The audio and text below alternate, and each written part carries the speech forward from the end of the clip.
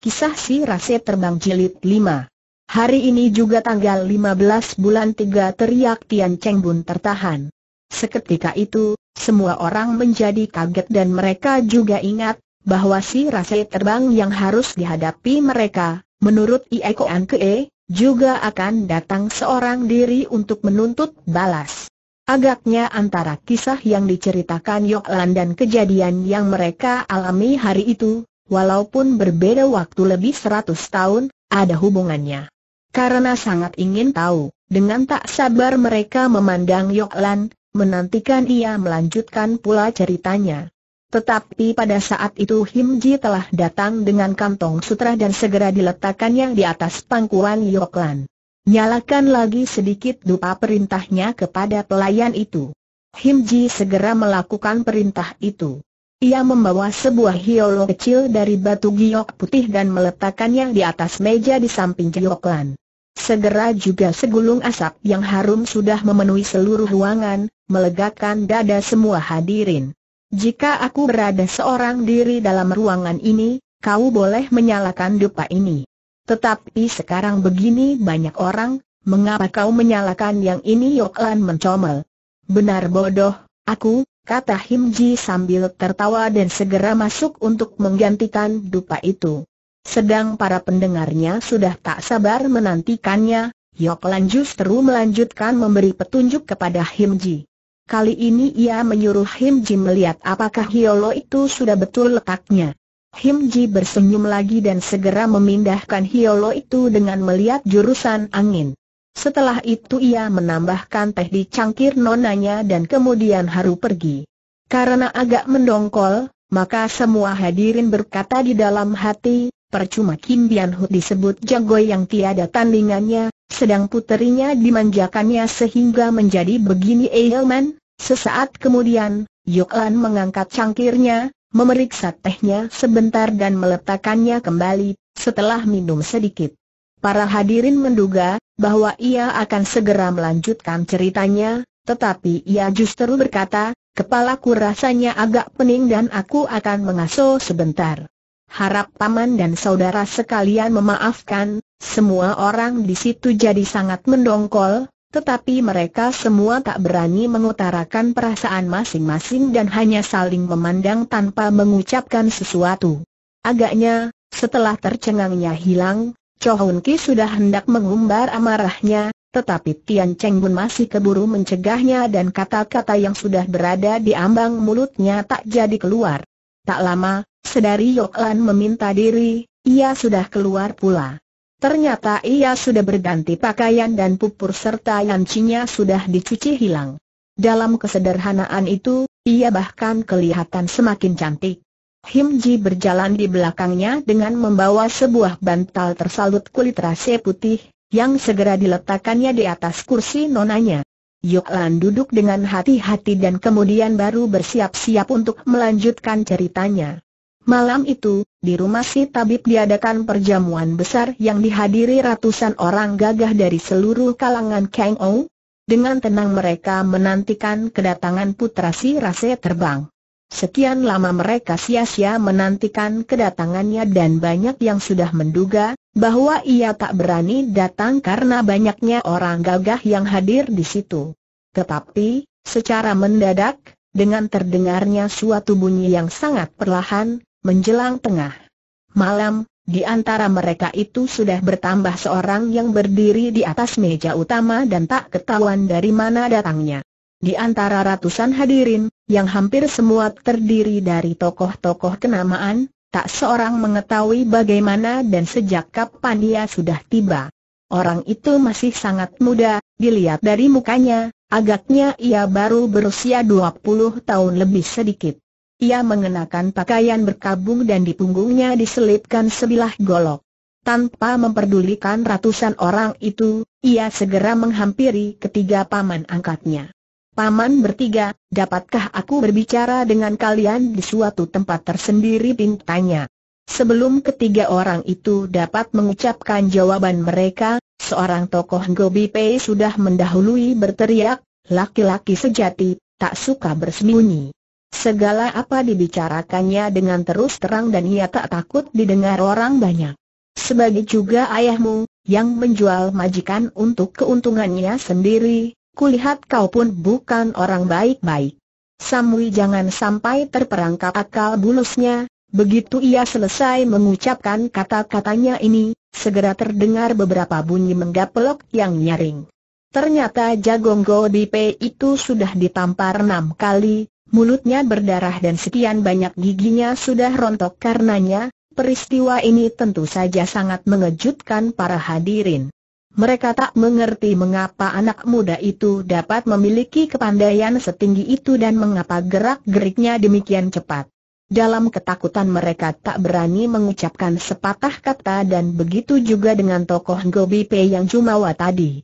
Kecuali tiga adik angkat si Rasai terbang itu, tak ada yang mengetahui bahwa kepandaian pemuda itu didapat dari ayahnya dan kecepatannya bergerak, yang tak dapat dilihat ratusan orang itu, adalah kepandaiannya yang istimewa dan dinamakan Pek Pian Kwei Eng, bayangan setan yang berubah ratusan kali, Bahkan agaknya si anak sudah melebihi ayahnya dalam kepandaian itu, sementara itu putra si Rase terbang sudah berbicara lagi kepada ketiga saudara angkat ayahnya.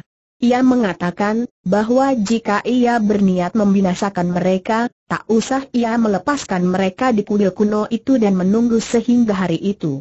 Ia menambahkan bahwa soal yang akan dibicarakannya, tak boleh dibicarakan di hadapan orang banyak.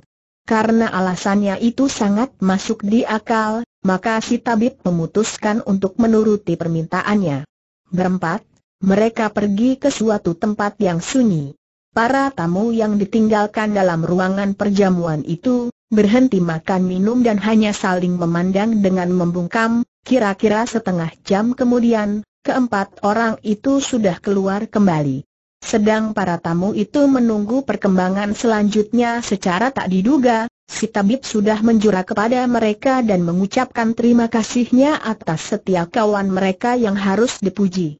Kemudian, sebelum mereka dapat membalas penghormatan itu, ia dan kedua saudara angkatnya sudah mengangkat kelolok masing-masing dan menggorok leher mereka sendiri. Para hadirin benar-benar terperanjat melihat perbuatan nekat itu. Mereka beramai-ramai meloncat untuk mencegah, tetapi sudah terlambat, Putra si Rasai terbang berlutut di hadapan jenazah tiga paman angkatnya sebagai lazimnya seorang muda menghormati arwah sanak yang lebih tua. Setelah itu, ia segera memungut tiga buah golok paman angkatnya dan tanpa mengeluarkan sepatah kata, ia meninggalkan ruangan tersebut. Peristiwa ini terjadinya terlalu cepat dan ketika mereka dapat menetapkan hati mereka, anak muda itu sudah berlalu jauh sekali, berbondong-bondong mereka memburu keluar untuk mengejar dan mereka saling menganjurkan supaya jangan membiarkan penjahat itu lolos. Tetapi, mana dapat mereka menyusulnya?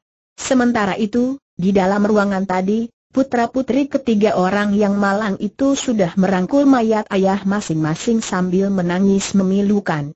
Ketika para tamu itu kembali mereka menanyakan kepada seluruh keluarga tiga orang itu, bahkan menanya juga para pelayan rumah itu, apa yang telah dibicarakan anak si Rasai terbang tadi sehingga berakibat demikian hebat. Tetapi tak seorang dapat memberikan keterangan. Semua orang gagah yang berkumpul di situ merasa sangat kasihan melihat putra-putri tiga orang itu dan mereka ramai-ramai mengambil ketetapan untuk memberikan bantuan agar keturunan tiga keluarga tersebut dapat melaksanakan pembalasan sakit hati. Kegusaran di kalangan Kengou yang diterbitkan karena peristiwa itu sungguh hebat. Tetapi, seperginya dari rumah si tabib, putra si Rase, terbang telah menghilang, entah ke mana. Untuk melaksanakan apa yang telah ditetapkan bersama pada malam itu, maka para orang gagah kemudian mendidik putra-putri ketiga saudara itu. Berkat didikan sekian banyak orang pandai, akhirnya para keturunan itu jadi memiliki kepandaiannya yang sangat tinggi, dan kepandaian mereka bukan terbatas pada satu macam kepandaian saja. Berbicara sampai di sini, Yok Lan berhenti sebentar untuk menghela napas panjang-panjang dan memandang ke sekitarnya, memandang wajah para pendengarnya. Kemudian ia melanjutkan pula, semakin tinggi kepandaian mereka, bertambah kuat pula keinginan mereka untuk menuntut balas. Benar-benar harus disesalkan, ilmu silat, sebagai juga semua ilmu, dapat mendatangkan bahagia tetapi juga dapat menerbitkan bencana, Yoklan mengucapkan kata-katanya yang terakhir itu dengan penyesalan. Untuk berapa lama ia tak dapat meneruskan ceritanya, ia hanya memandang api di Anglo dengan sikap seakan-akan terpesona ceritanya sendiri. Karena melihat bahwa yang lain semua menantikan lanjutan cerita itu dengan sikap tak sabar, maka Posi menggantikan Yoklan meneruskan kisah itu. Karena beliau menceritakan kisah itu benar-benar menarik. Walaupun ia tidak menyebutkan nama-nama, tetapi ku yakin bahwa kalian tentu sudah mengerti, bahwa tiga adik angkat si Rasai terbang adalah, yang menyaru sebagai tabib si Biao, si pengemis si Hoan dan si Kuli si Tian. Sebagai tadi sudah diceritakan, kemudian keturunan tiga saudara itu memiliki kepandaian yang sangat tinggi dan masing-masing mendirikan partai sendiri. Kepandaian keluarga Biao yang khas, kemudian terkenal sebagai Biao Ki Tiam Hoat sedang keluarga Hoan meneruskan tradisi penyamaran leluhurnya dan mendirikan Hin Hon Kepang, partai pengemis, dan keluarga Tian mendirikan Tian Liong Bon yang sejak itu sehingga sekarang masih dikenal sebagai ku sebutkan barusan, Wisu Tiong dan In Kiat, dua tokoh utama Tian Liong Bun pada dewasa itu, dua-dua merasa sangat malu, karena dalam kedudukan mereka itu, mereka juga tidak mengetahui asal-usul partai mereka sendiri. Dalam pada itu, Posi sudah melanjutkan pula, Ketika berapa puluh tahun kemudian keturunan orang-orang Si Biao, Hoan dan Tian itu dapat menemukan putra si Rasai terbang, ia ini ternyata sudah sangat tua. Kepandaiannya sudah sangat mundur dan tenaganya sudah tidak ada lagi.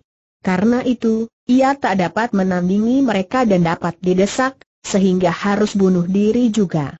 Demikianlah, selanjutnya, Keturunan empat keluarga itu balas membalas bergiliran selama lebih seratus tahun terakhir ini dan sepanjang masa itu, turun-menurun setiap putra keluarga itu tak dapat hidup tentram dan hampir selalu harus menemukan kematian tidak wajar. Dengan metu kepalaku sendiri, aku telah menyaksikan pertempuran hebat antara mereka, yang sampai pada detik ini adalah pertempuran yang terakhir, Yoklan mendadak mengangkat kepalanya dan memandang Posi. Taisu, kisah ini sudah kudengar dari orang lain. Tak usah kau menceritakannya lagi, katanya. Tetapi sahabat-sahabat ini belum pernah mendengarnya, maka silakan kau menceritakannya kepada mereka, jawab Posi.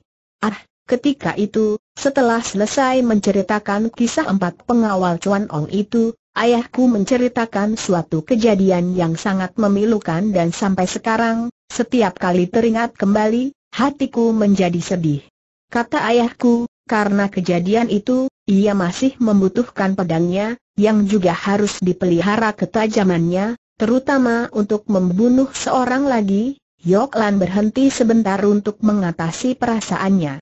Lewat berapa lama baru ia dapat meneruskan ceritanya yang akan kuceritakan ini, telah terjadi sepuluh tahun sebelum aku dilahirkan. Entah bagaimana nasib anak yang harus dikasihani itu, selalu aku berdoa agar ia masih hidup dan keadaannya baik senantiasa. Para pendengarnya menjadi bingung, mereka tak mengerti, siapa sebenarnya anak yang harus dikasihani itu. Juga, apa hubungannya dengan soal mereka itu, masih merupakan suatu teka-teki sulit bagi mereka. Dengan penuh pengharapan mereka sebentar memandang Yok Lan dan sebentar pula memandang Posi dengan sikap seperti minta penjelasan. Mendadak saja, terdengar seorang hamba, yang berdiri di samping, berkata dengan suara serak, Nona, karena hatimu begitu mulia, tentu doamu akan terkabul, ku percaya, bahwa anak yang harus dikasihani itu masih hidup dan keadaannya juga baik, semua hadirin menengok ke arah suara itu. Mereka melihat seorang yang sudah berusia lanjut, berambut jarang tanpa lengan kanan sedang menyanggah sebuah penampan dengan tangan kirinya. Mukanya mengerikan karena bekas luka yang panjang, menjalur dari alis kanannya sampai di sisi kiri mulutnya. Melihat wajahnya, semua orang merasa heran pikir mereka, setelah terluka begitu hebat, sungguh luar biasa, bahwa ia masih dapat hidup terus sampai hari ini. Ketika mereka masih terheran-heran memandang wajah orang itu, Yoklan sudah mulai bercerita lagi. Di samping mendoa, agar ia selamat selalu, aku juga mengharapkan, supaya ia tidak belajar ilmu silat. Aku berdoa, supaya ia sebagai aku ini, sekelumit ilmu silat pun tidak mengerti. Aku yakin, bahwa ini paling baik bagi dirinya, kata-kata Yoklan yang terakhir ini sungguh di luar dugaan para hadirin. Mereka jadi tercengang dan dalam kurang percaya mereka berpikir, bahwa sebagai putri kesayangan Biao Jin Hong, tak mungkin ia tak mengerti ilmu silat, tetapi jika melihat tindak tanduknya yang sangat lemah lembut, memang agaknya ia sama sekali tidak pernah mempelajari ilmu silat. Yuklan agaknya dapat menerkap keraguan-raguan mereka. Maka untuk menghilangkan kesangsian orang-orang itu ia menerangkan, Menurut ayahku, empat keluarga, On, Biao, Hoan dan Tian telah dapat balas membalas selama berapa keturunan, justru karena mereka semua pandai silat. Betapa tinggi juga kepandaian seorang anggota keluarga itu, akhirnya ia mesti mengalami kematian yang tidak wajar. Jika sepihak harus pusing memikirkan usaha membalas sakit hati orang tuanya, pihak yang lain harus selalu berjaga-jaga dengan hati kebat-kebit, karena lambat atau lekas, tentu akan ada yang datang mencarinya, untuk menuntut balas. Tak pernah ada keturunan keluarga itu yang dapat hidup tenang sampai datang saatnya dipanggil pulang oleh yang kuasa. Jika, karena kepandaiannya yang sangat tinggi, ia dapat terhindar dari kebinasaan di waktu mudanya, tentu di hari-hari terakhirnya, jika usianya sudah melampaui tujuh puluhan, akan datang seorang mencari balas. Jelaslah, bahwa karena ilmu silat, empat keluarga itu harus menderita terus-menerus sampai entah berapa turunan. Karena itu, maka ayah telah menetapkan, bahwa setelah ia, seluruh keturunan keluarga Biao tidak boleh belajar silat pula. Biarlah, ia akan menjadi orang si Biao terakhir yang pandai silat kurasa kata-katanya itu sangat benar dan aku juga yakin bahwa ilmu silat hanya akan mendatangkan malapetaka bagi keluarga kami, ayahku telah berpikir sempurna. Jika kelak ia harus mati terbunuh keturunan keluarga Ong, dengan aku sebagai putri tunggalnya tak mengerti ilmu silat, permusuhan itu dapat berakhir sampai di situ saja dan walaupun kami tidak dapat membalas sakit hati itu, kami akan dapat melanjutkan hidup kami dengan tenteram. Siam Chai, Siam Chai, sabda Posi sambil merangkap kedua tangannya. Biao Tai Hiap benar-benar sangat bijaksana. Kesediaannya, membiarkan Biao Ki Kiam Hoat yang tersohor tiada taranya, menjadi musnah dan lenyap setelah ia pulang ke alam baka, membuktikan betapa luhur budinya. Ia benar-benar tiada tandingannya dalam dunia ini, secara kebetulan Yoklan menengok ke arah pelayan yang tadi telah turut mengemukakan pendapatnya itu. Di dalam matanya, Yoklan melihat suatu sinar yang luar biasa dan ia menjadi haran. Ketika itu, sebenarnya para hadirin sedang menantikan lanjutan ceritanya dengan sikap tidak sabar. Tetapi bukannya ia segera meneruskan bercerita, sebaliknya ia bahkan memberi hormat kepada semua orang itu, meminta diri dan segera bertindak masuk meninggalkan mereka dalam ketidakpuasan. Tetapi, sesaat kemudian Posi sudah mengambil alih tugas nona itu dan ia mulai bercerita dengan menerangkan, bahwa, karena berperasaan halus, Yoklan tentu tak dapat mengatasi perasaannya, jika ia harus menceritakan kejadian yang memilukan itu. Maka, biarlah Hoolap yang melanjutkan cerita ini, katanya. Sejak awal permusuhan itu, karena orang si Ou itu dikutuk kalangan Kang Ou, sebagai penjual majikan karena tamak kemewahan, maka turunannya selalu harus menempati kedudukan terpencil yang sangat tidak menguntungkan. Mereka tak pernah mendapat simpati kalangan Kang Ou, bahkan selalu mereka dianggap sebagai sampah. Betapa tinggi juga kepandaian mereka, karena dalam pertempuran sengit selalu tidak ada yang berpihak kepada mereka, dengan sendirinya mereka jadi sudah kalah angin, hanya berkat kepandaian mereka yang benar-benar tiada taranya, mereka selalu masih dapat mewujudkan cita-cita mereka. Pula hampir setiap tingkat keturunan mereka tentu mempunyai seorang yang luar biasa. Di waktu tiba saatnya ia bertindak untuk memenuhkan pesan orang tuanya, tak peduli menang kalahnya, tentu akan terjadi banjir darah, Meskipun ketiga keluarga Biao, Hoan dan Tian berjumlah lebih banyak dan dapat menghimpun tenaga lebih besar, lagi pula mendapat dukungan seluruh kalangan Kang Ou, walaupun mereka selalu berjaga-jaga dengan sangat telitinya, tetapi dengan kecerdikan dan kepandaian serta kesabaran mereka, anak cucu keluarga Ou selalu dapat membobolkan penjagaan mereka dan melaksanakan pembalasan sakit hati turun-menurun itu, setiap kali salah satu pihak berhasil membinasakan musuhnya, golok kebesaran Chuan Ong berpindah tangan. Begitulah semasa pemerintahan Hong Hai, empat keluarga itu terus-menerus berebut golok pusaka tersebut, juga antara keluarga Biao, Hoan dan Tian sendiri kemudian terbit percecokan karenanya. Di masa itu, justru di pihak keluarga Ou muncul dua orang yang berkepandaian luar biasa tingginya. Dalam suatu pertempuran sengit, dua saudara itu telah berhasil membunuh dan melukakan 23 orang dari pihak lawannya. Tentu saja tiga keluarga yang asalnya berdiri sepihak dan kemudian bercocok sendiri itu menjadi sangat cemas.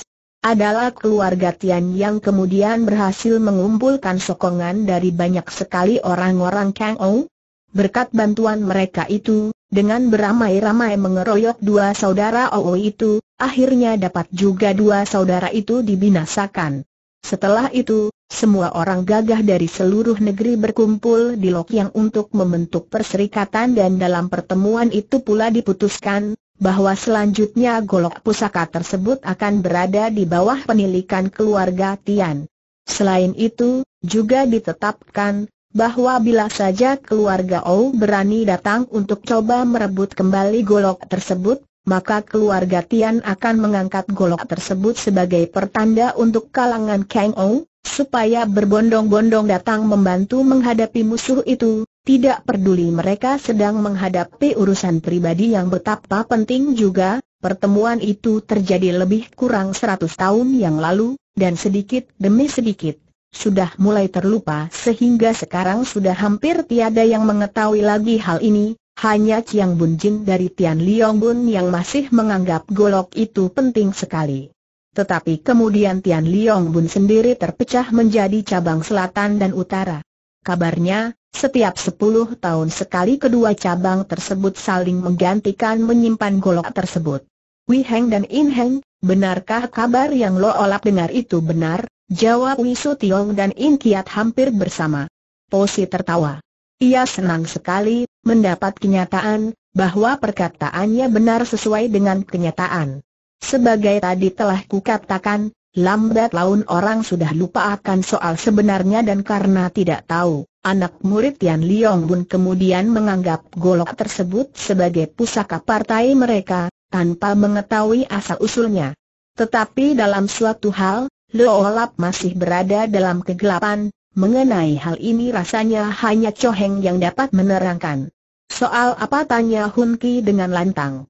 Sependengaran Loolap, saban kali terjadi penggantian Chiang Bun Jin, Chiang Bun Jin yang lama selalu menceritakan asal-usul golok tersebut kepada penggantinya, tetapi mengapa Choheng yang sekarang menjadi Chiang Bun Jin tak dapat menjawab pertanyaan Loolap mengenai golok itu, tadi? Apakah Tian Pui Long telah melupakan kebiasaan ini? Tak tahu Hun Ki, bagaimana ia harus menjawab.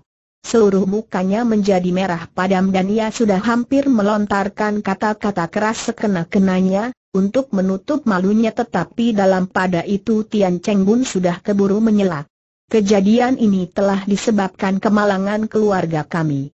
Sebelum bisa menjelaskan hal itu kepada Cho Su Heng, Ayahku mendadak sudah keburu dicelakakan orang, katanya pantas, pantas.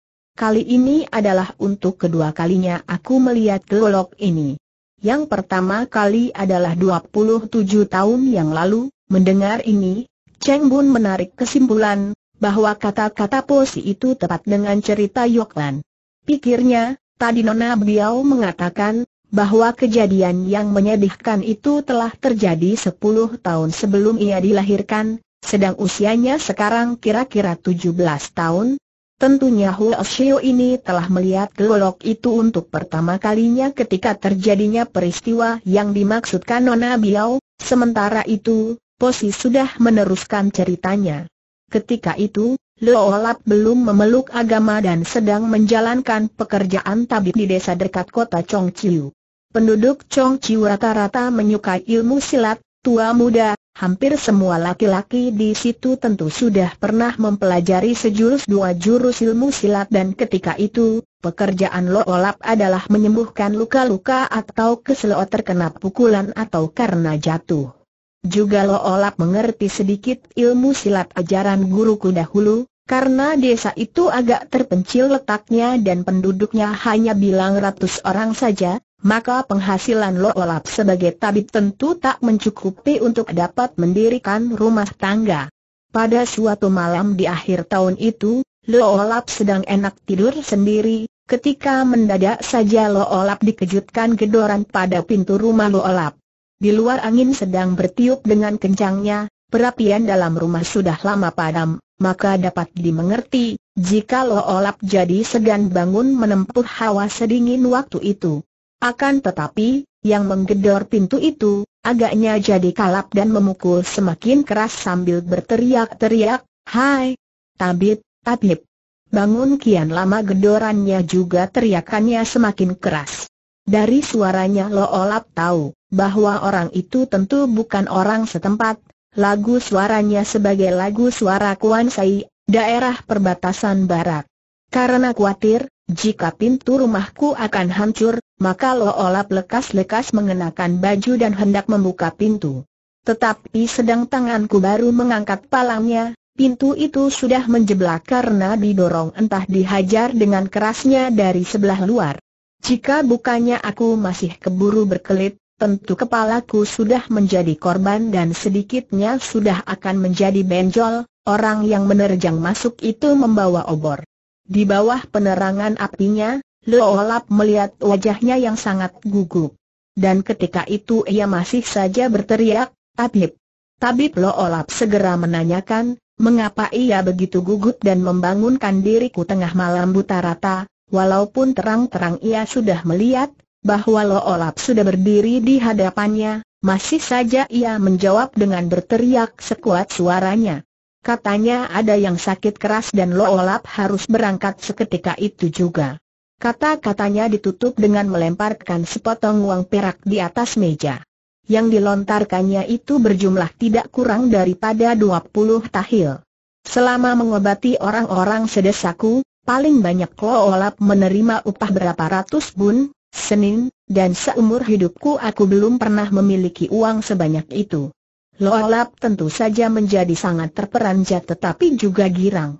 Tanpa ayal pula ku bereskan uang itu dan segera berangkat mengikutinya. Selama tanya jawab tadi aku telah memperhatikan mukanya. Di wajahnya kelihatan sifat-sifat kesatria, sikapnya agak kasar dan agaknya ia beruang, tetapi tingkah lakunya pada saat itu mencerminkan kekhawatirannya yang sangat besar. Agaknya ia sangat tergesa-gesa, karena sebelum Lo Olap selesai merapikan pakaian, ia sudah mengulurkan tangannya dan menyeret Lo Olap sambil menyambar peti obatku dengan sebelah tangannya lagi. Lo Olap minta perkenan untuk menutup pintu dulu, tetapi ia segera menekankan agar Lo Olap jangan khawatir, karena apa saja yang tercuri selama kepergianku akan digantinya semua. Ternyata ia membawa Lo Olap ke penginapan Peng Hek Tiam, satu-satunya penginapan di desa itu. Meskipun penginapan itu tidak terlalu kecil, tetapi keadaannya sangat kotor lagi gelap. Lo Olap menjadi agak heran. Pikirku, mengapa orang beruang sebagai ia, mau menginap di tempat seburuk itu. Loolap tak sempat berpikir panjang-panjang, ia sudah segera menyeret Loolap ke sebuah ruangan yang terang karena banyaknya lilin yang dinyalakan di situ. Loolap melihat empat lima orang laki-laki berdiri di situ, agaknya sedang menantikan kembalinya. Seketika melihat kembalinya dengan membawa Loolap, mereka tampak girang dan segera, beramai-ramai, menghantar diriku ke sebuah ruangan di sebelah timur, begitu melangkah masuk, Lo Olap menjadi sangat terkejut. Di atas balai-balai, Lo Olap melihat empat orang berbaring berjajar dengan badan penuh luka-luka berdarah. Di bawah penerangan sebatang lilin yang dibawakan salah seorang itu, Lo Olap memeriksa mereka dengan teliti dan mendapat kenyataan bahwa mereka semua telah terluka parah. Lo Olap menanyakan, mengapa bisa sampai kejadian begitu, tetapi yang membawa Lo Olap ke situ membentak dengan bengisnya, supaya Lo Olap segera mengobati mereka tanpa banyak rewel-rewel menanyakan urusan orang lain. Alangkah galaknya orang itu. Karena khawatir membangkitkan amarah mereka yang semua juga tampak bengis, Lo Olap segera melakukan yang diminta atau, lebih benar, yang diperintahkannya. Baru Lo Olap selesai membalut dan mengobati mereka, Orang itu sudah membentak pula, mengatakan, bahwa di kamar sebelah masih ada lagi yang harus ditolong. Juga di kamar itu terdapat orang-orang yang terluka parah, salah seorang di antara mereka bahkan seorang wanita. Agaknya mereka telah dilukakan dengan senjata tajam. Loolap bekerja sebaik-baiknya dan tak lama kemudian sudah berhasil menghentikan darah yang mengucur keluar dari luka-luka itu. Berkat obat untuk meringankan sakit, mereka sudah segera tidur nyenyak, melihat hasil pekerjaanku, orang-orang itu rupa-rupanya menjadi gembira dan sikap mereka jadi berubah, mereka memperlakukanku dengan lemah lembut. Selain itu mereka memerintah pelayan untuk menyediakan sebuah balai-balai darurat yang dibuat dengan daun pintu, agar dengan demikian Lo Olap dapat berada di situ dan dapat pula diminta pertolonganku setiap waktu, Ketika ayam berkokok, mendadak kembali Lo Olap dikejutkan dari tidur nyenyak. Kali ini terdengar derap kaki kuda yang ramai sekali, orang yang tadi menyambut Lo Olap segera keluar menyambut pendatang-pendatang baru itu. Aku pura-pura tidur terus, tetapi sesaat kemudian terdengar mereka sudah bertindak masuk kembali. Aku mengintip dari belakang selimut. Agaknya, yang disambut itu adalah dua orang yang kini berjalan di depan. Dua orang itu tentu berkedudukan tinggi, karena para penyambut itu berlaku sangat hormat terhadap mereka. Hanya, anehnya, dari dua orang itu, seorang berdandan sebagai pengemis tetapi pandangan matanya sangat tajam, sedang kawannya adalah seorang yang berwajah sangat cakap dan usianya juga belum seberapa, kedua orang itu lantas saja mendekati balai-balai untuk memeriksa penderita-penderita itu. Begitu melihat kedatangan mereka, semua penderita itu segera berbangkit dengan menahan sakit. Terang sekali bahwa mereka sangat menghormati dua orang itu. Kudengar mereka menyebutkan si pengemis dengan Hoan Pangcu dan si anak muda dengan Tian Siang Kong. Posi berhenti sebentar untuk menoleh kepada Tian Cheng Bun dan berkata, ketika itu, pertama kali aku bertemu dengan ayahmu, Nona belum dilahirkan. Ayahmu berotak cerdas dan sikapnya tegas serta kecakapannya mengambil keputusan dengan cepat, benar-benar sangat mengagumkan dan sampai hari ini masih kukagumi, teringat ayahnya, Cheng Bun jadi sangat sedih. Sementara itu Posi sudah melanjutkan lagi ceritanya. Dari antara orang-orang yang tidak terluka, seorang segera menerangkan kepada dua pendatang baru itu, bahwa seorang sahabat dari keluarga Tio telah mengikuti suami istri yang mereka inginkan, sedari masih berada di luar dinding besar dan mereka sudah berani memastikannya bahwa sebuah kotak besi, yang agaknya menjadi pusat perhatian, benar-benar berada pada suami istri tersebut. Mendengar kata-kata kotak besi itu, para pendengarnya lantas saja mengerti, bahwa yang dimaksudkan, tentu bukan lain daripada kotak yang diperebutkan mereka juga. Aku melihat Hoan Pangcu menganggukkan kepalanya, orang yang memberikan keterangan itu lalu melanjutkan keterangannya. Ia mengatakan bahwa ia dan rombongannya sudah menantikan suami istri itu di Tongko Antun dan di samping itu juga mengirim seorang untuk memberitahukan hal itu kepada mereka dan Biao Tai Hiap.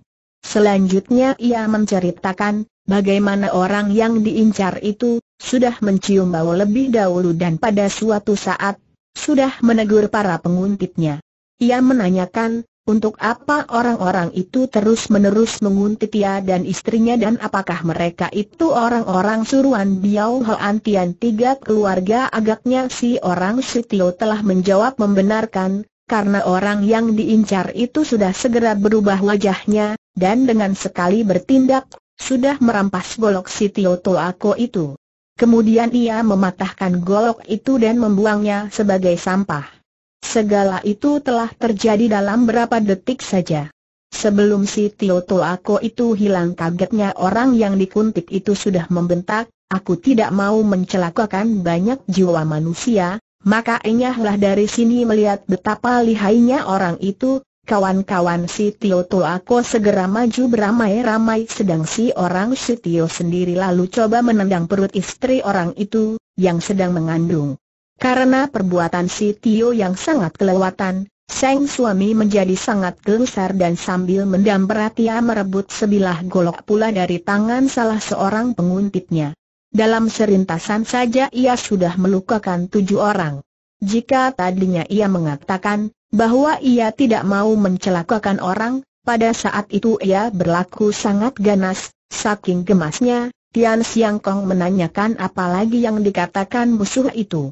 Si juru bicara menerangkan, bahwa musuh itu tidak mengatakan apa-apa lagi, hanya dalam amarahnya ia sudah hendak melukakan lebih banyak orang, tetapi istrinya telah mencegah dengan mengatakan, bahwa demi keselamatan anaknya yang belum lahir, ia harus berlaku sedikit murah. Teriakan Seng istri telah menolong sisa rombongan penguntit itu. Seng suami segera menghentikan pertempuran itu dan mematahkan golok rampasannya, mendengar cerita itu, Tian Siang Kong agaknya jadi ketarik. Ia berpaling kepada Hoan Pangcu, seakan-akan hendak mengetahui pendapatnya, kemudian menanyakan pula, benarkah ia mematahkan golok itu dengan tangannya saja jawab si juru bicara, benar, ketika itu aku berada di sampingnya dan aku telah melihat gerakannya dengan jelas sekali, karena jawaban yang memastikan itu, agaknya Tian Siang Kong menjadi bimbang. Hoan Pangcu segera menghiburnya. Ia mengatakan, bahwa Biao Tai Hiap tentu akan dapat menandinginya, ketika itu, juru bicara tadi sudah berbicara pula. Menurut pendapatnya, dalam perjalanannya ke Kang Lam, musuh mereka itu tentu akan lewat di situ dan jika Tian Siang Kong dan Hoan Pangcu berdua mencegatnya, musuh itu tentu tak akan terlolos. Tetapi kedua orang itu tidak menjawab. Wajah mereka muram dan diliputi ketegangan, dengan suara tertekan mereka berunding sambil bertindak keluar, Loolap menunggu sampai mereka sudah keluar, baru Loolap pura-pura mendusin dan buru-buru menggantikan obat tujuh orang itu. Di dalam hati Loolap terdapat pertanyaan, siapakah orang yang disebut musuh itu? Agaknya dalam keganasannya ia berhati murah, karena, walaupun luka-luka korbannya tidak enteng, tetapi tiada seorang yang terluka di tempat berbahaya, besok harinya, di waktu senja, sedang seluruh rombongan itu menghadapi makan malam, tiba-tiba datang seorang sambil berlari-lari dan berteriak, sudah datang seketika itu, wajah segenap anggota rombongan menjadi tegang. Mereka segera meletakkan sumpit masing-masing dan berlari keluar sambil melolos senjata. Diam-diam Lo Olap juga turut keluar untuk melihat. Keramaian yang agaknya akan segera terjadi, meskipun hatiku berdebar-debar sangat keras. Rasa ingin tahuku telah menekan perasaan takut, tiba di luar, Lo Olap melihat sebuah kereta besar tengah mendatangi dengan meninggalkan segulung debu yang mengepul tinggi. Hoan Pangcu dan Tian Siang Kong segera memimpin orang-orang mereka maju memapaki dengan senjata terhunus. Loalap juga mengikuti mereka dari kejauhan, setelah berhadapan dengan pencegatnya, kereta itu segera berhenti. Hoan Pangcu berseru, orang Xiao, keluarlah dari dalam kereta itu terdengar jawaban seseorang, kamu hendak minta sedekah bukan? Baiklah, setiap pengemisku beri satu bun belum habis kumandang kata-kata itu, ketika segera terlihat sekian banyak sinar kuning berkelebat disusul dengan terdengarnya teriakan kesakitan ramai. Berturut-turut, dari antara pencegat-pencegat itu sudah roboh sekian banyaknya. Juga Hoan Pangcu dan Tian Siang Kong yang berkepandaian sangat tinggi tidak terluput dari timpukan musuh mereka itu. Pergelangan tangan mereka kena dihajar dan senjata mereka, sebatang tongkat dan sebilah pedang, lantas saja jatuh di tanah. Tian Siang Kong segera mengajak Hoan Pangcu mundur. Tetapi Pangcu itu yang berkepandaian sangat tinggi, tidak menghiraukan teriakannya. Ia mengangkat tongkat bajanya dan menghampiri kawan-kawan yang telah dirobohkan lawan itu. Ia coba membuka kembali jalan darah mereka yang tertutup karena timpukan yang sangat lihai itu. Loalap sendiri ketika itu juga sedikit banyak mengetahui hal 36 jalan darah pada tubuh manusia dan melihat gerakan Hoan Pangcu itu, Loalap yakin, bahwa ketua partai pengemis itu akan dapat membebaskan kawan-kawannya dari totokan. Sungguh di luar dugaan, bahwa segala daya upaya itu tidak menghasilkan apa-apa. Walaupun dia sudah memijat, mengurut dan menyentil dengan asjiknya, seorang jua tak dapat ditolongnya, orang yang di dalam kereta itu agaknya melihat, bahwa Hoan Pangcu sudah kehabisan akal. Gelak tertawanya menggema lagi disertai kata-katanya mengejek, dasar pengemis, satu bun masih tidak terima. Baiklah ku tambahkan satu bun masing-masing lagi, kata-kata itu ditutup dengan datangnya timpukan segenggam uang bun lagi. Dengan kecepatan yang luar biasa, sekian banyak mata uang itu menyentuh jalan darah sekian banyak korbannya tadi, yang masih menggeletak malang melintang di tanah. Mati kau pikir lo olap. Tetapi dugaanku itu meleset jauh.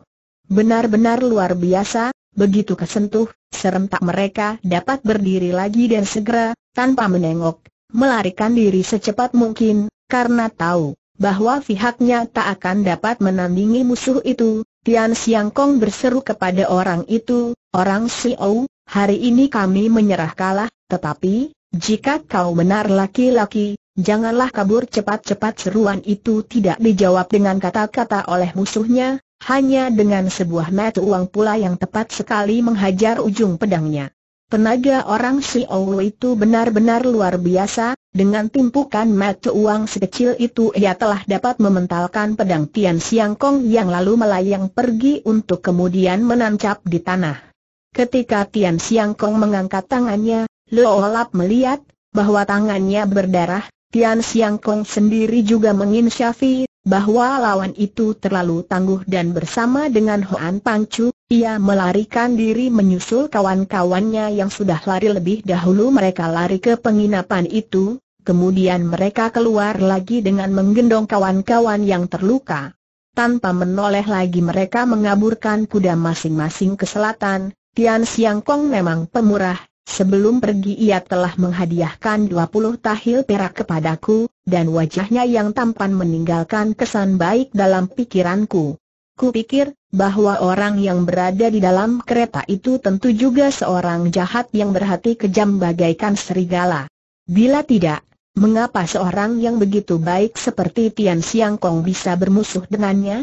Sementara itu, kereta tersebut sudah tiba di depan penginapan. Rasa ingin tahu akhirnya mengalahkan rasa takutku.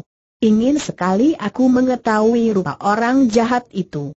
Aku berdiam di belakang meja pengurus hotel dan menantikan ia melangkah masuk, tampak tirai kereta disingkap. Seorang laki-laki yang bertubuh tegap kokoh menampakkan diri. Sungguh bengis lagi menakutkan wajah orang itu. Kulit mukanya hitam, janggut dan kumis. Tebal memenuhi mukanya, kaku, berdiri tegak-tegak. Rambutnya terurai kusutnya. Dalam keseluruhannya, roman orang itu membangunkan bulu Roma, ah, betapa terkejut hatiku pada saat itu. Dalam benak pikiranku terkilas, dari manakah datangnya setan jahat ini dalam ketakutanku, aku sudah hendak buru-buru lari pulang, tetapi, sungguh aneh, tertatap matanya yang berpengaruh, aku tak dapat berkisar dari tempatku, terpesona, termangu-mangu, di dalam hatiku, aku sudah mencaci diriku, yang tak mau siang-siang pergi. Saat itu aku sudah tak bisa menghindarinya lagi. Kakiku lemas, bagaikan terkena ilmu siluman. Sementara itu, si orang berwajah menyeramkan bertanya, Saudara, Adakah seorang tabib di sini? Jawab pengurus penginapan, dialah tabib desa ini, tangannya menunjuk kepadaku, dapatkah saudara-saudara mengerti, betapa gugup aku karenanya? Buru-buru aku menggoyangkan tanganku. Bukan, bukan, sangkalku terputus-putus, dan tubuhku menggigil. Orang itu tertawa. Jangan takut, aku tak akan menelanmu, katanya di antara tertawanya, aku semakin ketakutan, dan coba menyangkal semakin keras, tetapi semua itu tidak menghasilkan apa-apa. Jika aku mau, mudah saja bagiku untuk menelan kau hidup-hidup katanya dengan nada kurang senang, tentu saja aku semakin ketakutan, tetapi ia hanya tertawa terbahak-bahak melihat sikapku. Tahulah aku, bahwa kata-katanya tadi hanya diucapkan untuk bergurau. Dengan gusar aku menggumam, kurang ajar, apakah kau mengira, bahwa aku dilahirkan untuk dijadikan bulan-bulan kelakarmu yang tidak menyenangkan tetapi, tentu saja kujaga supaya ia tak mendengar kata-kataku itu, orang itu kini berpaling kepada pengurus penginapan. Ia minta disediakan kamar kelas satu dan yang terbersih. Selain itu ia minta dicarikan dukun beranak, karena menurut katanya, istrinya akan melahirkan. Kemudian ia mengatakan kepadaku, supaya aku tetap di situ, karena mungkin sekali tenagaku akan dibutuhkan.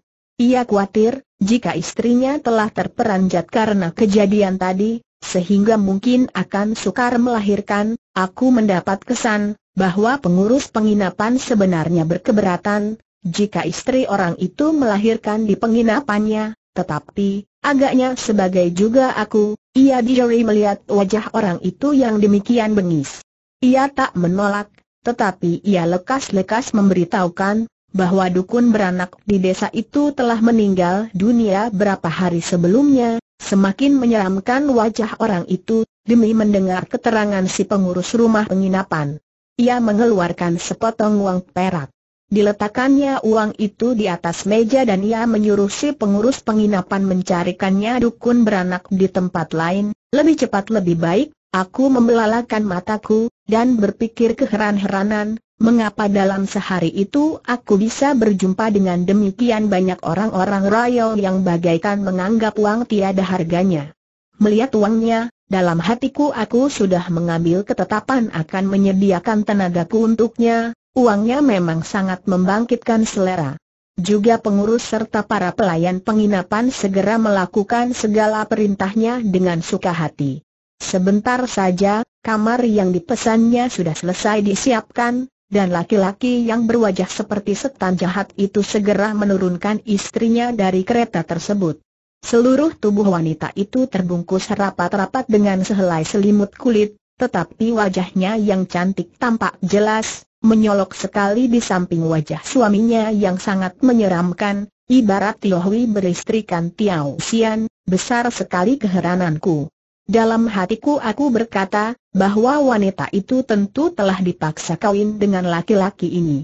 Jika bukannya karena dipaksa, menurut anggapanku tak mungkin ia mau menikah dengan suami yang begitu buruk tampangnya. Aku membandingkannya dengan Tian Siang Kong, dan kesimpulanku adalah, bahwa wanita itu lebih sesuai menjadi istri orang setian itu. Tiba-tiba terkilas dalam pikiranku, bahwa wanita itu tentu yang menjadi sebab permusuhan antara Tian Siang Kong dengan orang menakutkan ini. Mungkin sekali si pria buruk telah merebutnya dari tangan Tian Siang Kong, mungkin sekali wanita itu asalnya memang istri Tian Siang Kong, tengah hari lewat sedikit. Kulit wanita itu berkeringat karena menahan sakit, dan mulutnya tiada hentinya merintih. Pelayan yang disuruh mencari dukun beranak belum juga kembali. Si setan jahat tampak semakin gelisah. Ia menjadi sibuk sendiri. Ia sudah hendak pergi mencari dukun sendiri, tetapi istrinya tak mau ditinggalkannya seorang diri. Lama sekali mereka menunggu, tetapi pelayan yang pergi mencari dukun itu tak juga muncul. Penderitaan wanita itu sudah semakin hebat. Agaknya, bayinya sudah tak bisa bersabar lagi. Maka si setan jahat tampak semakin menyeramkan dalam puncak kerisauannya, ia segera menyuruh aku yang menolong istrinya melahirkan. Saudara-saudara, coba kalian pikir, pantaskah permintaannya itu? Pantaskah aku melakukan pekerjaan dukun beranak? Oleh sebab itu, tentu saja aku menolak keras-keras, karena aku yakin bahwa aku akan bernasib malang sepanjang sisa hidupku, jika pekerjaan itu kulakukan juga, si setan tak mau menerima penolakanku. Ia segera mengeluarkan 200 tahil perak dari sakunya dan menjanjikannya sebagai hadiahku, jika aku mau menurut perintahnya. Selain memancing diriku dengan uang, ia juga memperlihatkan nasib apa yang akan kualami, jika aku tetap menolak. Perlahan-lahan ia menepuk sudut meja, yang seketika itu juga sudah somplak sebagian. Dua contoh itu tentu saja hanya dapat memberikan ilham semacam kepadaku, yakni menurut perintahnya. Bagiku sudah tak ada jalan tengah, aku harus kehilangan jiwa serta uang sebanyak itu, atau aku bisa hidup terus dengan memiliki harta sebanyak belum pernah kupegang selama hidupku. Saudara-saudara tentu juga mengerti, bahwa aku segera mengambil keputusan, betapapun takutku akan menjadi sial untuk selama-lamanya, Demikianlah, aku telah melakukan pekerjaan dukun beranak dan menolong nyonya itu melahirkan seorang bayi yang montok sehat. Walaupun baru dilahirkan, tangis bayi itu sangat nyaringnya. Seluruh wajahnya berbulu, dan matanya juga membelalak lebar-lebar. Romannya benar-benar mirip dengan roman ayahnya, sehingga aku berkeyakinan, bahwa setelah dewasa anak itu tentu juga akan sejahat ayahnya, sedang aku memikirkan segala itu, si setan jahat tampak kegirangan. Dengan wajah berseri-seri diberikannya kepadaku 200 tahil perak bagaikan uang itu tidak ada harganya. Juga istrinya memberikan hadiah kepadaku, serinceng uang emas yang harganya tak di bawah harga pemberian suaminya. Agaknya, mereka benar-benar merasa berbahagia, bahwa mereka telah memperoleh seorang putra yang sehat. Si setan bahkan segera melangkah keluar dengan membawa penampan yang berisikan uang perak untuk membagi-bagikan hadiah kepada semua pegawai penginapan, bagaikan semua itu dirasakannya belum cukup untuk merayakan kelahiran putranya, si setan jahat kemudian mengajak semua orang makan minum sepuasnya. Tanpa memilih bulu, semua orang yang kebetulan berada di situ, diajaknya serta dalam pesta itu, kuasa penginapan, orang yang kebetulan lewat dan semua kacung dan tukang sapu diundangnya hadir, semua orang menjadi girang sekali, tak ada yang tidak menghormatinya sekarang. Setelah mengetahui bahwa ia si Ou, semua orang memanggilnya Ou Toaya, Chuan Besarong, tetapi ia segera berkata, benar aku si Ou, dan sepanjang masa hidupku, jika aku menemukan suatu kejadian tak adil, aku segera turun tangan membereskan ketidakadilan itu dengan bacokan golokku.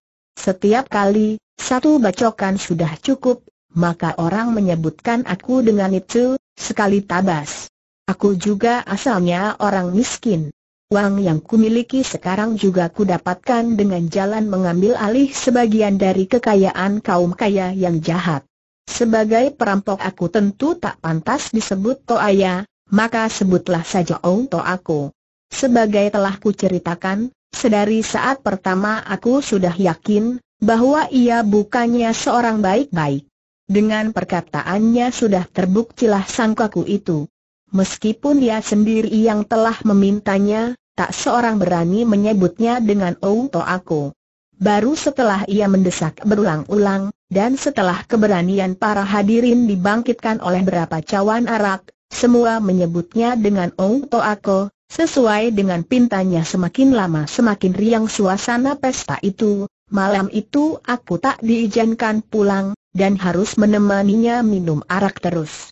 Yang lain, semua sudah rebah, hanya aku yang masih bisa melayaninya minum semangkok demi semangkok. Sungguh menakjubkan kekuatannya minum arak. Semakin lama, ia bahkan semakin gembira, sehingga akhirnya ia membawa putranya yang baru dilahirkan itu keluar, ia kembali ke tempat duduknya dan mencelupkan pada bibir bayi itu. Aku membelalakan mataku, karena bayi itu segera menghisap jari ayahnya dengan nikmat sekali. Sungguh mengherankan, bahwa bayi yang baru berusia sehari sudah suka minum arak. Si setan jahat sebaliknya tambah semakin gembira dan segera mengulangi perbuatannya, sedang si bayi juga semakin asjik menghisap setiap kali jari ayahnya tiba di bibirnya. Benar-benar anak setan arak yang kelak akan menjadi setan arak juga, tiba-tiba dari arah selatan terdengar derap kaki kuda yang riuh. Agaknya, tak kurang dari dua tiga puluh penunggang kuda yang datang ke arah mereka. Tak lama pula, tindakan-tindakan kuda itu berhenti di muka penginapan tersebut. Segera juga pintu penginapan sudah digedor keras-keras. Kuasa penginapan sudah mulai agak sadar kembali. Ia lekas-lekas berbangkit dan berjalan terhuyung-huyung membukakan pintu. Berapa puluh laki-laki bersenjata lengkap sering tak muncul di ambang pintu. Mereka tak segera masuk dan berdiam diri saja. Salah seorang di antara mereka kemudian melangkah masuk dan duduk di sebuah meja di dekat pintu. Sebuah bungkusan kuning diturunkan dari punggungnya ke atas meja bungkusan itu bertuliskan tujuh buah huruf yang terbaca, Tapian Tian Hee Bu Tek Chiu, Demi mendengar Posi menyebutkan bungkusan pendatang baru dalam ceritanya itu, semua pendengarnya serentak mengalihkan pandangan mati masing-masing ke arah papan yang digantungkan dalam ruang itu. Tetapi segera juga Posi sudah melanjutkan ceritanya. Kesukaan Biao Tai Hiap memakai gelar temberang itu, sekarang kuanggap sebagai kebiasaan memandang rendah kepada orang lain, tetapi malam itu aku terkejut bukan main. Aku memperhatikannya dengan seksama.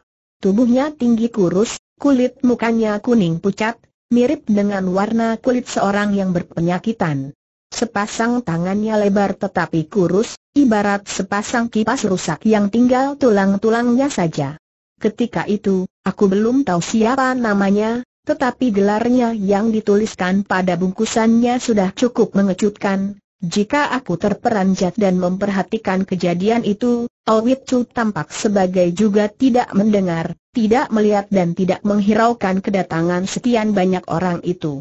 Di pihak lain, juga beliau Tai Hiap tak mengucapkan sepatah kata, tetapi semua pengikutnya memperlihatkan pandangan penuh amarah kepada Owet Chu, yang masih terus memberikan arak kepada putranya dengan asyiknya setiap kali bayi itu sudah mengeringkan arak yang melekat pada jarinya, ia sendiri minum secawan. Tanpa memperhatikan, orang tak akan tahu, bahwa suasana dalam ruangan itu sudah tegang sekali, tetapi aku telah melihat segala apa, dan hatiku berdebar-debar dengan kerasnya. Kesunyian itu menambah ketegangan.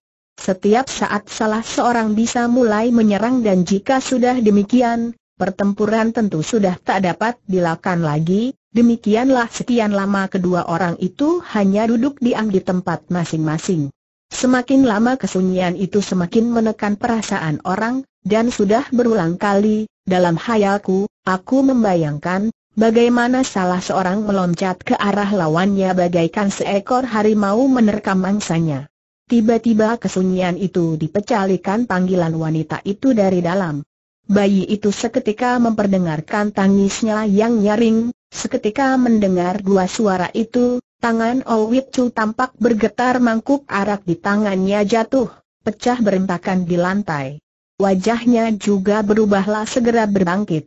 Dengan memeluk bayinya, Biao Tai Hiap tertawa mengejek dan segera melangkah keluar tanpa mengucapkan sepatah kata. Orang-orangnya juga turut meninggalkan ruangan itu. Sesaat terdengar derap kaki kuda mereka yang riuh, dan kemudian semua sunyi kembali, semula kuduga, bahwa suatu pertempuran sengit tentu sudah tak akan dapat dihindarkan lagi, tetapi ternyata hanya karena tangis bayi itu, mereka jadi berpisah dengan begitu saja. Juga semua orang benar-benar tidak mengerti, sementara itu, Owit Chu telah masuk ke dalam kamar dengan putranya. Kudendar istrinya menanyakan siapa yang baru berbicara dengannya. Owit Chu mengatakan, bahwa mereka hanya berapa penjahat kecil saja, yang sedikit pun tak usah ditakuti, dan ia menganjurkan supaya istrinya tidur saja dengan tenang. Sang istri menghela napas dan berkata, bahwa ia sudah tahu, jika yang datang itu adalah Biao Tai Hiap. Ku dengar pula, bagaimana Owitsu coba membantah, dan bagaimana kemudian istrinya mengutarakan pendapatnya, bahwa jika bukan Kim Bian Hut yang datang, sungguh mustahil, bahwa suara Owe itu akan bergetar dan wajahnya tampak khawatir, Owe itu agaknya tak dapat menjawab atau menyangka lebih jauh. Katanya kemudian sambil menghela napas, bahwa jika istrinya itu sudah tahu, tak dapat ia mengatakan suatu apa lagi dan selanjutnya ia berkata, bahwa ia juga tak takut kepada jago yang tiada tandingannya itu. Istrinya ternyata juga sangat berani, dan menganjurkan Seng suami supaya menetapkan hatinya, karena, bila saja, karena mengingat istri dan anaknya, Owitu menjadi ragu-ragu, kedudukannya akan tidak menguntungkan jika kelak berhadapan dengan Biao Jin Hong, bahkan mungkin sekali ia akan kalah. Ku dengar Rowitu menghela napas lagi dan berkata, bahwa selamanya ia tak pernah takut kepada siapa juga, tetapi sungguh mengecewakan, bahwa malam itu ia menjadi agak jeri juga, entah karena apa. Ia mengakui pula, bahwa tadi, ketika Kim Bian Hut meletakkan bungkusannya di atas meja dan melirik ke arah putranya, ia jadi ketakutan dan sekujur badannya menjadi basah berkeringat. Ia membenarkan pendapat istrinya, bahwa ia memang telah menjadi takut kepada Kim Bian Hut, istrinya coba menghiburnya dengan mengatakan, bahwa ketakutan Wei Chu itu bukannya ketakutan wajar, tetapi karena khawatir, jika putranya akan dicelakakan lawannya. Terdengar jawab Wei Chu dengan suara ragu-ragu, bahwa ia tidak percaya, jika Kim Bian Hut, yang tersohor sebagai pendekar, akan berlaku demikian keji, mencelakakan seorang wanita atau anak orok. Dari nada suaranya dapat diketahui, bahwa ia kurang yakin akan dapat menandingi lawannya. Tiba-tiba di dalam hatiku timbul rasa kasihan. Beda dengan rupa wajahnya, ternyata hati Owit itu agak lemah, dalam pada itu, istrinya menganjurkan supaya Owit itu membawa lari putra mereka itu ke utara, sedang dia sendiri kelak, bila sudah kuat, akan menyusul. Nada suaranya mengesankan kasih sayangnya yang besar sekali. Owit Chu tentu saja tak mau menyetujui saran istrinya. Ia berkata, bahwa daripada harus meninggalkan istrinya menghadapi bahaya seorang diri saja, lebih baik mereka sama-sama berdiam di situ, dan jika harus mati, mati juga bersama, istrinya menyesal sekali, bahwa tadinya ia telah merintangi maksud Seng suami untuk pergi ke Kang Lam, menantang Kim Bian Hout. Jika tahu, akan terjadi demikian, lebih baik ia membiarkannya mencari Kim Bian Hout ketika itu, ketika ia masih bebas, menurut Oh Wei Tzu, hari itu juga ia belum tentu kalah, hanya suaranya kurang meyakinkan. Agaknya, di dalam hatinya ia sendiri kurang percaya kepada perkataannya.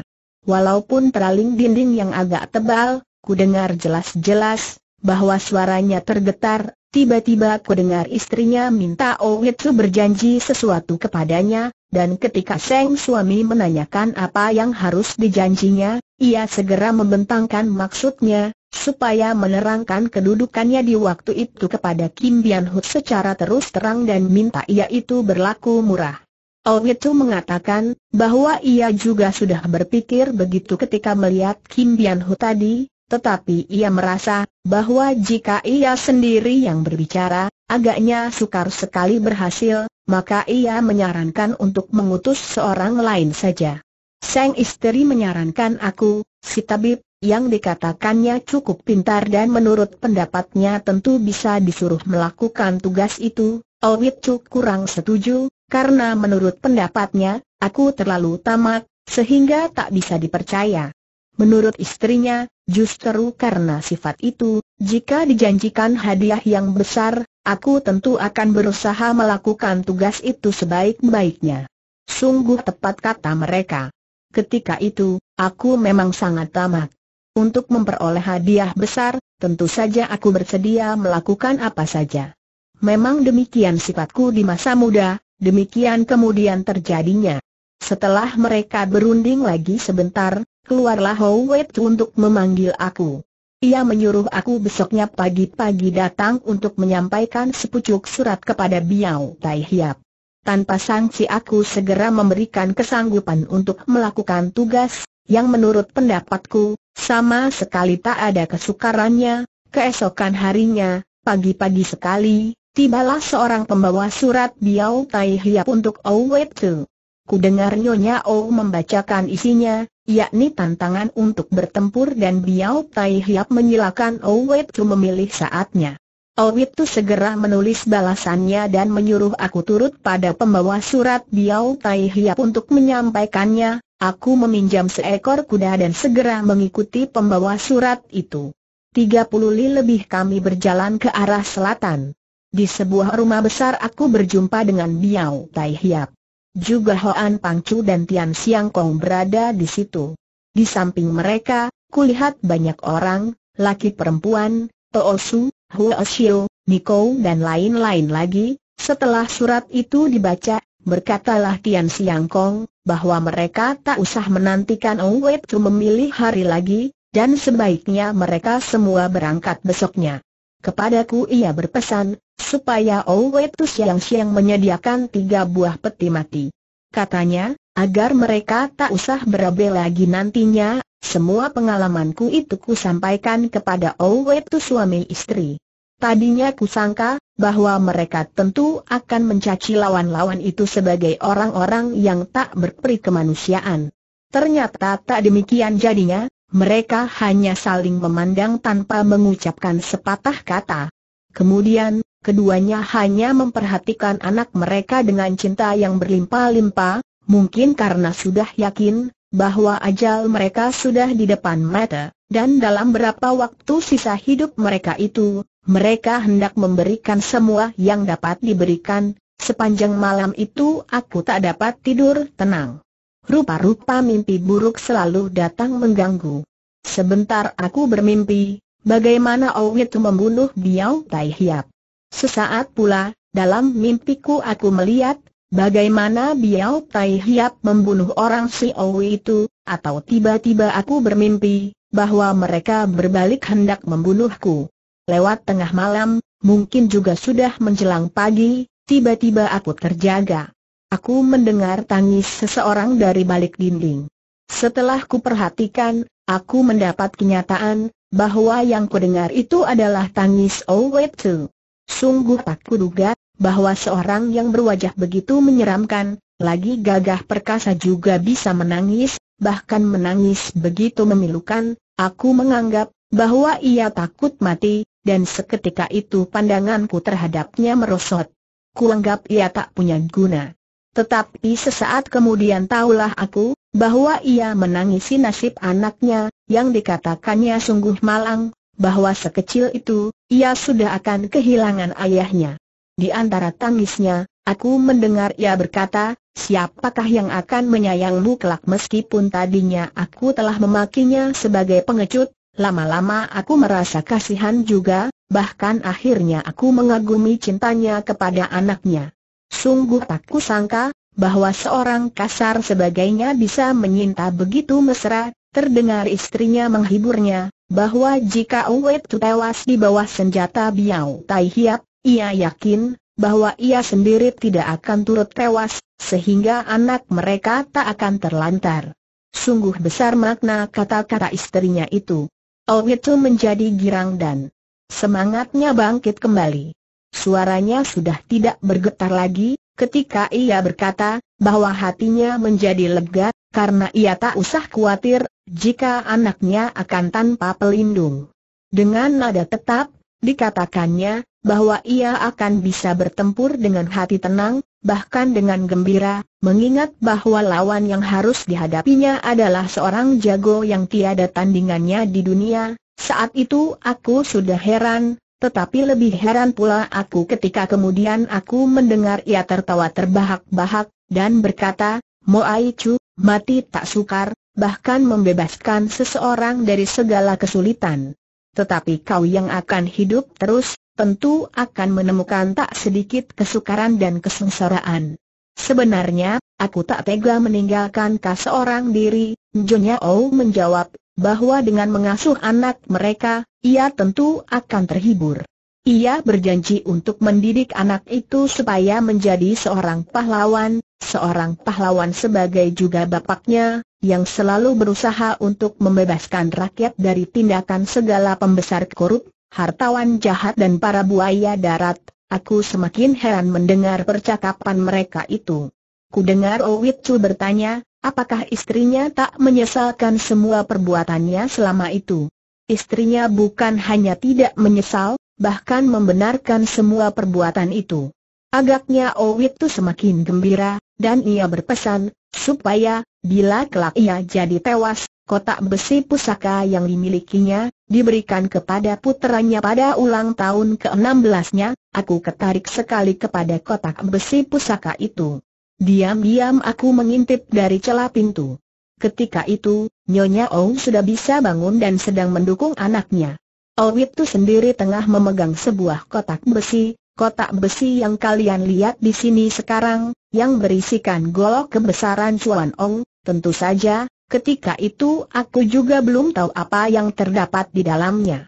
Besar sekali minatku untuk melihat isinya, tetapi Owetsu menyimpan lagi kotak itu tanpa membukanya sebentar saja.